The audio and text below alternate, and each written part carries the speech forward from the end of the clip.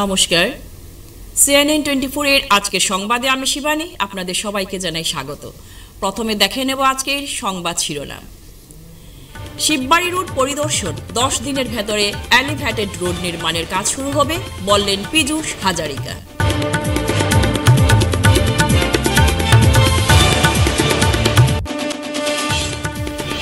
বন্যায় জেলায় লক্ষাধিক গবাদি পশু ক্ষতিগ্রস্ত, জলমগ্ন এক হাজার পাঁচশো তেইশ হেক্টর ফসলি জমি।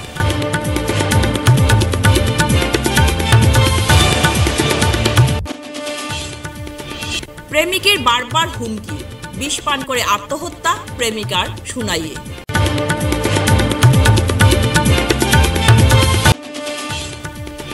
শুনাইয়ে নতুন নতুন এলাকা বন্যায় প্লাবিত, জাতীয় সড়ক জলের তলায়।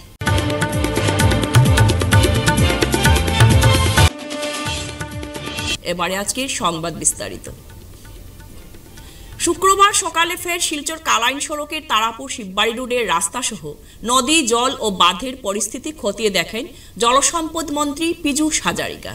পরিদর্শনকালে সাংবাদিকদের মুখোমুখি হয়ে বলেন, আগামী দশ দিনের ভেতরে এই রাস্তাটি নির্মাণের কাজ শুরু করা যাবে। এখানে এলিভেটেড রোড বানানো হবে। রাস্তাসহ নদী বাঁধের কোনো ধরনের আর সমস্যা হবে না। এই সরকার জনগণের সমস্যা নিরসনের সরকার। প্রত্যেকটি বিভাগ বন্যার সময় বন্যা নিয়ন্ত্রণে আনার জন্য দিনরাত কাজ চালিয়ে যাচ্ছে। এখন বহু অংশে নিয়ন্ত্রণে এসেছে বন্যা পরিস্থিতি বলে জানান মন্ত্রী পীযূষ হাজারিকা। এদিন সঙ্গে ছিলেন শিলচরের বিধায়ক দীপায়ন চক্রবর্তী ও লক্ষ্মীপুরের বিধায়ক কৌশিক রায় সহ বিভাগীয় আধিকারিকরা। বেছি স্বল্প ওকে যদি আপোনালোকে চাই লওক কিন্তু এটা লাইন দি দিয়ক ইমান ৱেইট নহয় এটা লাইন দিয়ক। এটা লাইন এটা লাইন আজি দি কাৰণ দিয়ক। বেছি হৈ দিলে আমিতো হৈ যাব। বাৰটালৈকে থাকোৱেই ইয়াত কিবা হ'লে ফোন কৰিম। হৈ যাব। যদি লাগে আমি আমি আমি কৰিম পাতি লওক কথাটো হ'ল চাৰিটা সৰু আমি ছাৰ পেক এটা কৰি দিম। কথাটো প্ৰেক্টিকেল কথাটো কওঁ এইখিনিতো ইমিডিয়েট যি কি কৰিব পাৰে কৰিব। এতিয়া মই কমিশ্যনাৰৰ লগতো পাতিলোঁ সকলোকে শুনাই গৈছোঁ যে তেখেতলোকে কাৰোবাক কাম কৰি দিলে? দেখিছে চাৰ্ভে হৈ গ'ল। কাম চাৰি তাৰিখৰ পাছত আৰম্ভ হৈ যাব গভৰ্ণমেণ্টে মই বুজাই ক'লোঁ মই কমিশ্যনাৰ পি ডব্লিউ ডিৰ লগত কথা পাতিলোঁ ইয়াত এখন দুশ মিটাৰ এলিভেটেড ৰোড হ'ব দহ মিটাৰ দুশ দহ মিটাৰ দলং হ'ব চেংচন হৈ গ'ল টেণ্ডাৰ হৈ গ'ল এৱাৰ্ড হৈ গ'ল হোৱাট এভাৰ কিন্তু এলিভেটেড ৰোড হ'ব দুশ দহ মিটাৰ আৰু দহ দিনৰ ভিতৰত কাম আৰম্ভ হ'ব टेन डेज लेकिन पी डब्ल्यू डी डिपार्टमेंट में डिपार्टमेंट ने यहाँ में एक एलिवेटेड रोड बनाएगा दो सौ दस किलो दो सौ दस मीटर का होगा। ऑलरेडी अवार्ड हो गया कॉन्ट्रेक्टर सिलेक्शन हो गया। दस दिन में यहाँ में काम शुरू होने वाला है। मैं सोचता हूँ वो जब होगा परमानेंट सोल्यूशन हो जाएगा। ये रास्ते के बीच में जो ये कभी होल हो रहा है। वो तो नेचुरल है। हाँ, नेचुरल उसको बचाने में उसी इसीलिए एलिवेटेड कॉरिडोर होगा। एलिवेटेड रोड होगा। इसीलिए एलिवेटेड क्यों होगा? नहीं तो ऊपर में ही हो जाता। एलिवेटेड क्यों होगा उसी को बसाने के लिए। फ़िलहाल के लिए। फ़िलहाल तो हम लोग का लोग लगा हुआ है पीडब्ल्यूडी का भी लोग लगा हुआ है वाटर रिसोर्स का भी लोग लगा हुआ है। अभी अभी सब सब लोगों का सामने में कमिश्नर पीडब्ल्यूडी का साथ बात किया उन्होंने बोला ऑलरेडी अवार्ड हो गया दस दिन में काम शुरू हो जाएगा परमानेंट কাছাড় জেলায় বন্যা পরিস্থিতি অপরিবর্তিত। জেলায় সব মিলিয়ে একশো পঞ্চাশটি রাজস্ব গ্রাম বন্যার কবলে পড়েছে। এর মধ্যে রয়েছে উধারবন্দ রাজস্ব চক্রের তেইশ, শিলচরের বত্রিশ, সুনাই ষোলো, লক্ষ্মীপুরের চার এবং কাটিগোড়া রাজস্ব চক্রের পঁচাত্তরটি রাজস্ব গ্রাম। সব মিলিয়ে বন্যাক্রান্ত লোকের সংখ্যা এক লক্ষ দুই হাজার দুইশো ছচল্লিশ জন। এদের মধ্যে পুরুষ চৌচল্লিশ হাজার দুইশো পঁচাত্তর, মহিলা তেতাল্লিশ হাজার ছয়শো চৌচল্লিশ এবং শিশুর সংখ্যা চোদ্দ হাজার তিনশো সাতাশ। আর জলমগ্ন হয়েছে এক হাজার পাঁচশো তেইশ হেক্টর ফসলি জমি। ইতিমধ্যে জেলা সব মিলিয়ে একান্নটি আশ্রয় শিবিরে আশ্রয় নিয়েছেন বন্যাক্রান্তরা। এদিকে কাছাড় জেলা কৃষি আধিকারিক আবিদুর রহমান জানান, জেলায় ত্রিশ মে পর্যন্ত সাত হাজার দুইশো দশ জনের বেশি কৃষক পরিবার বন্যার কবলে। এছাড়া দুইশোটি গ্রাম জলের তলায় এবং চুয়াত্তরটি জিপি বন্যায় প্লাবিত। শিলচর ও কাটিগড়ায় বেশি বন্যাক্রান্ত হয়েছেন। এদিকে জেলা পশুপালন ও চিকিৎসা বিভাগের আধিকারিক জিতেন্দ্র ভুইয়া জানান, কাছাড় জেলার মধ্যে বরখোলায় বেশি করে গবাদি পশু ক্ষতিগ্রস্ত হয়েছে। সাতচল্লিশ গ্রামের গবাদি পশু বেশি ক্ষতিগ্রস্ত হয়েছে। জেলায় নব্বই হাজার গরু, মোষ চোদ্দ হাজার একশো পঞ্চাশটা ভেড়া ছাগল ক্ষতিগ্রস্ত হয়েছে। আমাদের কাছে যা খবর এসছে এর থেকে দেখা গেল যে কাছাড় জেলার চুয়াত্তরটি গ্রাম পঞ্চায়েতের প্রায় দুইশো গ্রামের সাত হাজার দুইশো দশজন কৃষক এইবারের বন্যা দ্বারা প্রমাণিত হয়েছে এবং প্রাথমিক তথ্য অনুসারে প্রায় পনেরোশো তেইশ হেক্টর কৃষিভূমি জল জলের নিচে চলে গেছে।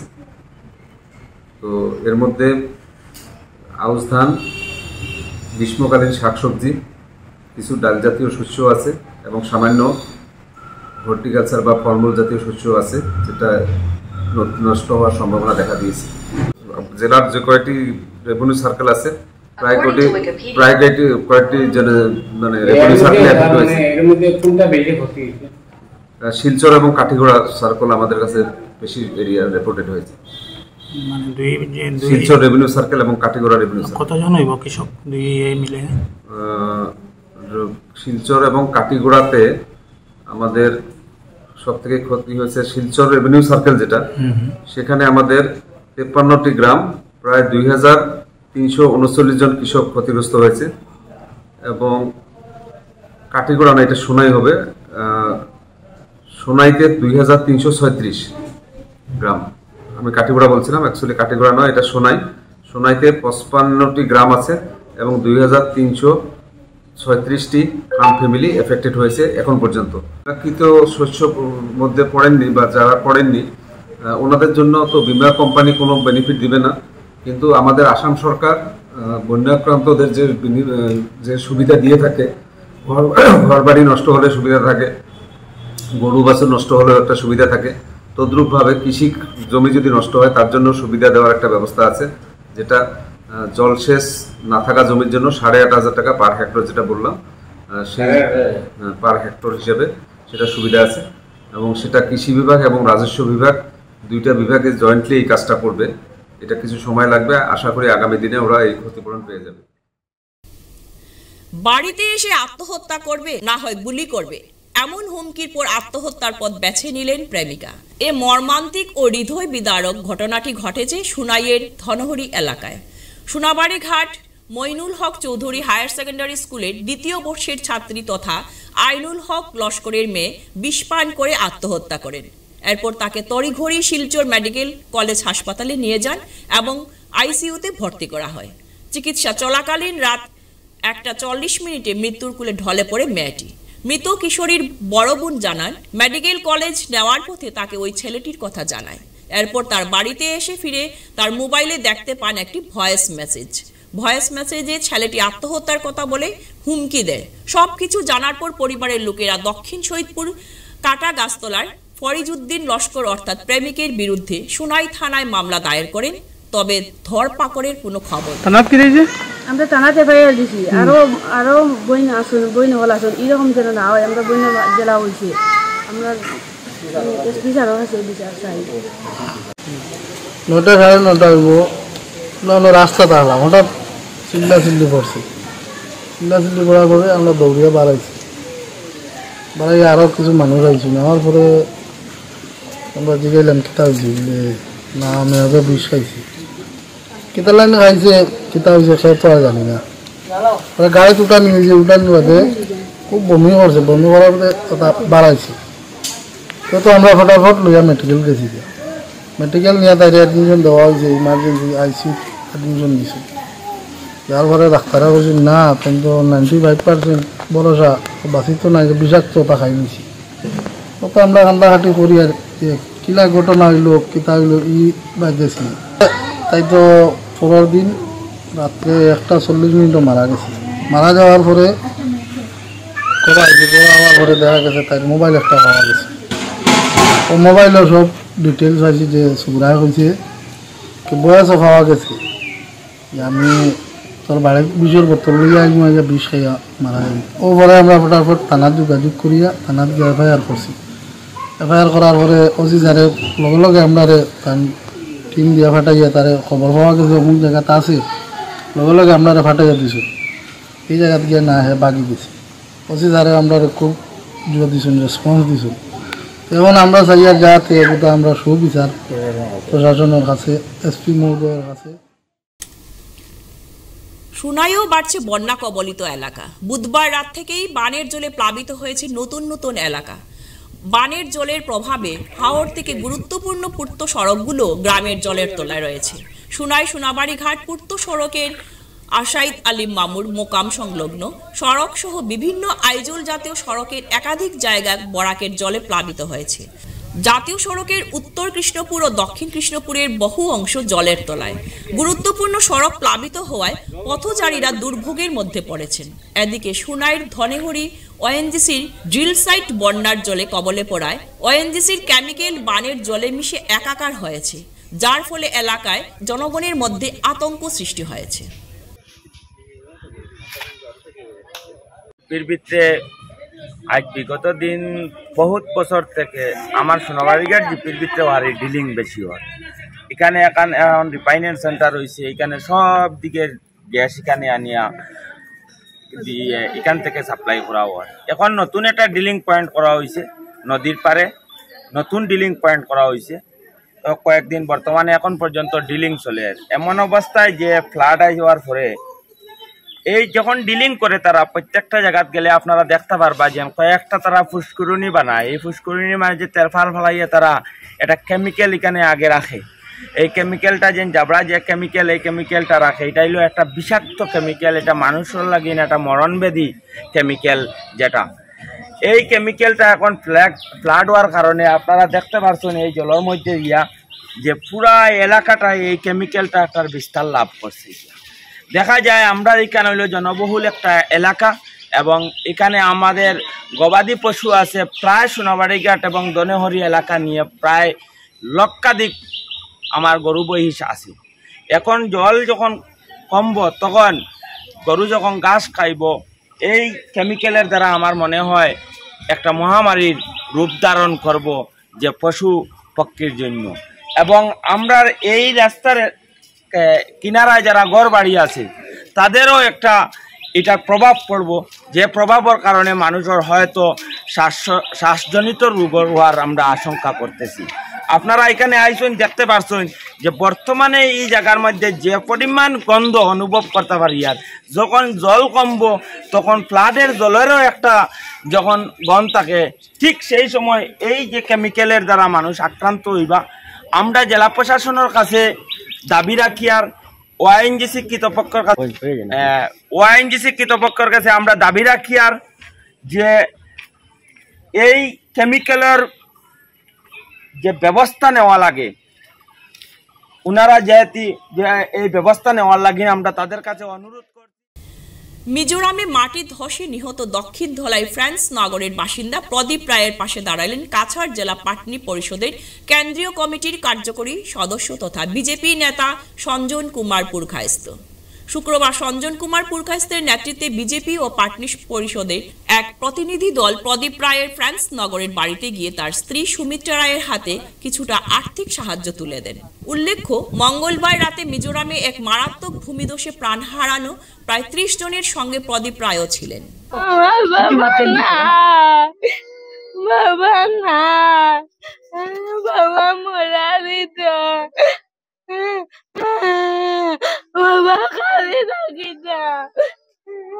নমস্কার। বিগত উনত্রিশ মে বুধবার মিজোরাম কোয়ারিতে কর্মরত সতেরো জন শ্রমিকের অকাল মৃত্যুর ঘটনায় আমরা সবাই মর্মাহত। প্রচণ্ড ঘূর্ণিঝড় রেমালের তাণ্ডবে অনেক ক্ষয়ক্ষতি হয়েছে বিভিন্ন জায়গায়। মানুষের মৃত্যু ঘটেছে দুর্ঘটনা হয়েছে। অনেক প্রাকৃতিক বিপর্যয়ের তাণ্ডব তাণ্ডবে পড়ে মানুষের পারিবারিক জীবন বিচ্ছিন্ন হয়ে পড়েছে। সেই রকম এই এলাকার দলাই বিধানসভা সমষ্টির ফ্রেন্সনগর এলাকার কি নাম? প্রদীপ রায় মহাশয় কর্মরত অবস্থায় মিজোরামে ওই তাণ্ডবের শিকার হয়েছেন। আজ উনি আজ আমাদের মধ্যে নেই। ওনাদের পীড়িত পরিবার আজ অসহায় অবস্থায় পড়ে আছে। বিভিন্ন সংগঠন থেকে কর্মকর্তারা এখানে এসছেন। আর্থিক সাহায্য প্রদান করছেন। আমার মনে হয় সেটা যথাযথ নয়। এই পীড়িত পরিবারের একমাত্র উপার্জনকর্তা প্রদীপ রায়। মহাশয় ছিলেন। আজ ওনার এই সুখবিধ্বস্ত পরিবারের পাশে এসে আমরা দাঁড়িয়ে দাঁড়িয়েছি। আমি চেষ্টা করব আজকের এই প্রেস বার্তার মাধ্যমে ভারতের ডেপুটি কমিশনার রোহন জা মহাশয়ের দৃষ্টি আকর্ষণ করতে চাই। যাতে সরকারি কোনো সুযোগ সুবিধা এই প্রাকৃ- প্রাকৃতিক বিপর্যয়ের যদি কোনো সুযোগ সুবিধা সরকার থেকে প্রদান করা সম্ভব হয় ওনাদের পরিবার বর্গকে আর্থিক সাহায্য প্রদান করার জন্য।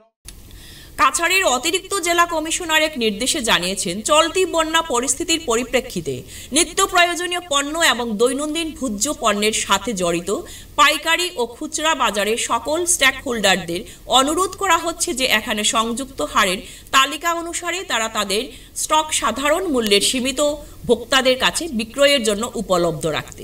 দ্রব্যমূল্য সর্বদা নিয়ন্ত্রণে রাখার অনুরোধ করা হয়েছে।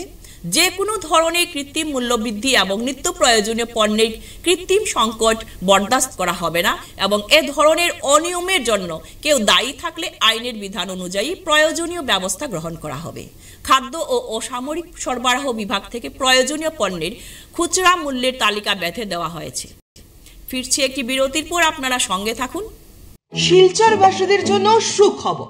এসে গেছে বিভা ফুড কোর্ট শিলচরের এই মুহূর্তের অন্যতম আকর্ষণ, যেখানে একই ছাদের তলায় আপনি পেয়ে যাবেন বিভিন্ন ধরনের মিষ্টি, রকমারি স্ন্যাক্স, থাকছে রুপটপ ক্যাফে।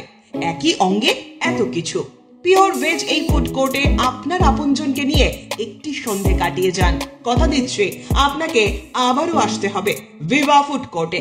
যোগাযোগ nine three nine five nine three triple five eight এই নাম্বারে। আপনাকে জানাই সাদর আমন্ত্রণ।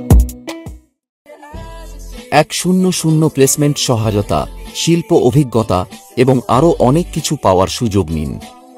International institute of cosmetology and অ্যাস্থেটিক্সে যোগ দিন এবং শিলচর বসকোটেক, বাজান্তিপুর, পণ্ডিতে কসমেটোলজিতে আপনার স্বপ্ন এবং ক্যারিয়ারের মধ্যে ব্যবধান পূরণ করুন। ফিরে এলাম বিরতির পর। মঙ্গলবার কুম্ভাবাজার থেকে ফেরার পথে বাঁশের সাঁকো পার হতে গিয়ে পা পিছলে খরস্রোতা, লাবক নদীতে তলিয়ে যাওয়া আইক পুঞ্জির বাসিন্দা পঁয়তাল্লিশ বছরের জিম্পু কুকির প্রাণহীন দেহ বৃহস্পতিবার স্থানীয় জনসাধারণ উদ্ধার করে সেনাতলা চা বাগানের পাশে ওই নদীর জঙ্গল থেকে। বৃহস্পতিবার স্থানীয় জনসাধারণ সারাদিন অনুসন্ধান চালানোর পর রাতের দিকে দেখতে পান জঙ্গলে আটকে আছে ভাসমান জিম্পু কুকির মৃতদেহ। সঙ্গে সঙ্গে তারা উধারবন থানায় খবর দেন। খবর পেয়ে ছুটে আসেন সার্কেল অফিসার ঋতুরাজ বরদলুই ও বিধায়ক মিহির কান্তি সোম। মৃতদেহ আইনি প্রক্রিয়া শেষ হবার পর ময়না তদন্তের জন্য শিলচর মেডিকেল কলেজ হাসপাতালে পাঠানো হয়। শিলচর শহরে বানভাসী হাজার হাজার মানুষ আশ্রয় নিয়েছেন বিভিন্ন শিবিরে। সরকারি স্তরে ইতিমধ্যে বিভিন্ন আশ্রয় শিবিরে খাদ্য সামগ্রী দেওয়া শুরু হলেও অনেক জায়গায় এই খাদ্য সামগ্রী পর্যাপ্ত নয়। এমত অবস্থায় শিলচর শহরের অন্যতম সংগঠন ড্রিম সেলিব্রেশন শহরের বিভিন্ন শিবিরে উপস্থিত হয়ে। শিশু এবং বড়দের খাদ্য সামগ্রী বিতরণ করছে শুক্রবার।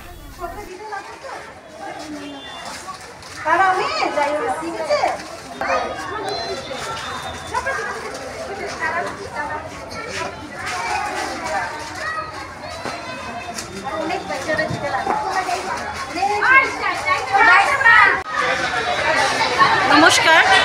আমি আমরা ড্রিম সেলিব্রেশনের পক্ষ থেকে এখানে পরমানন্দ স্কুলে এসেছি।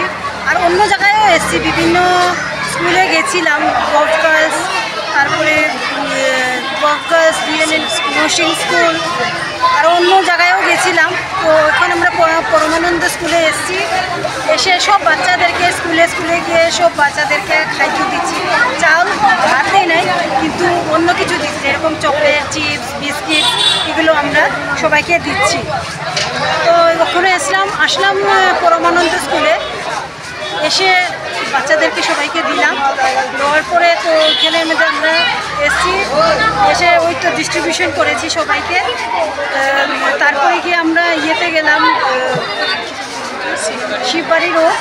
শিববাড়ি রোডে গেছি, গিয়ে দেখলাম যে শিববাড়ি রোডের অবস্থা খুব খারাপ। জলও আছে, জল আগে থেকে একটু কমেছে, কিন্তু রাস্তার অবস্থা খুবই খারাপ। তো ওইখানে দেখে আসলাম।